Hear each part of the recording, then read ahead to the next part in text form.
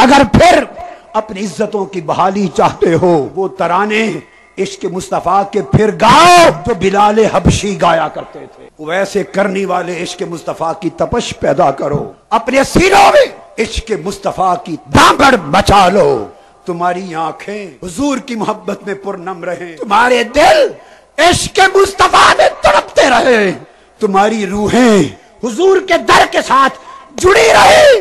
और हुजूर की हाजरी और हुजूर की हुजूरी का सोचा करो।